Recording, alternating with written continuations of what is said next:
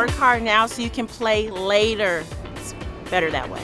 Make the most out of your experience at LSU. Go to all the sporting events. You can do this. I believe in you, and you have to believe in you too.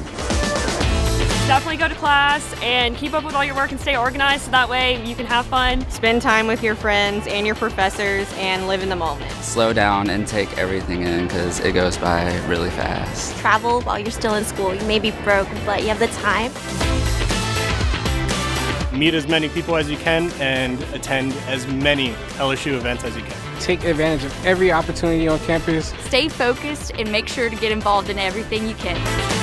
Believe in yourself and work hard, and you will go places and you will go far. Take it day by day, do your best. You got this. You're ready now. You're ready. Go get it. You go get it. Go Tigers.